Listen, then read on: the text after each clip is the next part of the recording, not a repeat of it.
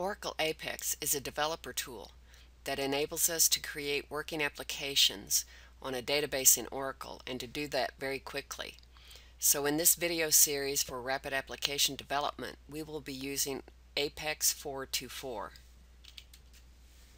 If you want to work along with the videos there are scripts available that will be run in the first few videos that create tables and populate the tables with data.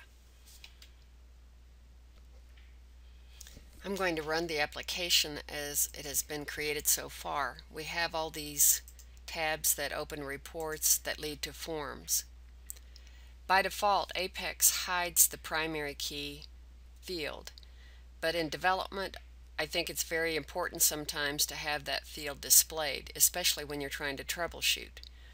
So here I am in the projects form, and I'm going to click on Edit Page 5 and we do see that there is a page item for project ID. But if we open that up, we'll see that the display is hidden. So what I want to do is set it for display only and then apply that change and then run that and then I can see the primary key value. I want to go through and do the same thing for each one of these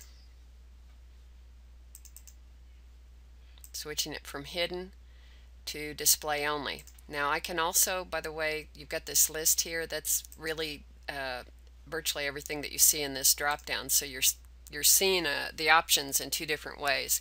So I could simply come over here and click display only. That changes the display and I could apply changes and run this. And so now I am seeing the primary key value. So displaying the primary key, the hidden primary key, or the hidden foreign key sometimes is very helpful when you're trying to debug and develop your application.